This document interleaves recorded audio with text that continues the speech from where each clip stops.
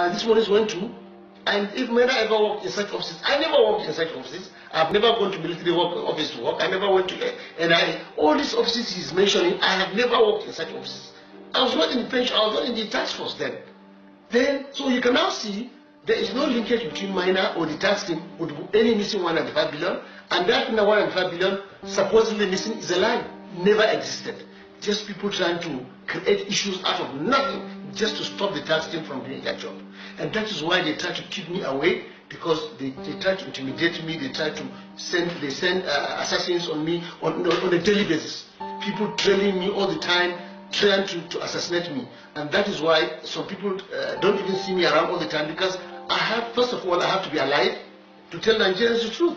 If, if they had allowed themselves, and myself to, to be attacked just like they have done. How can I be in an, in an office sitting down and 48 people will come in armed to come and come on?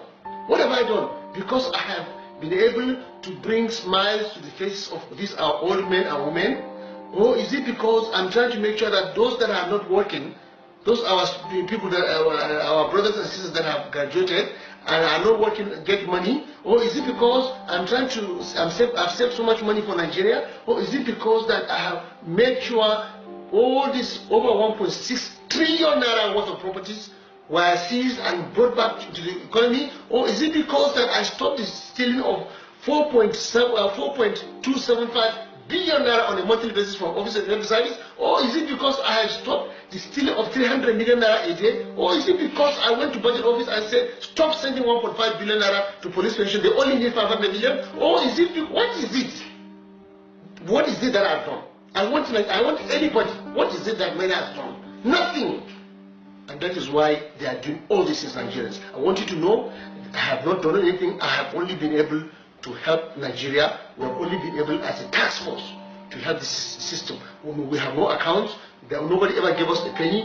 There is, there is no 95, 195 naira, billion naira missing. It's a lie. Don't take it. It's a crap. They are lying because they don't want the team to continue. Now we left and they have continued stealing.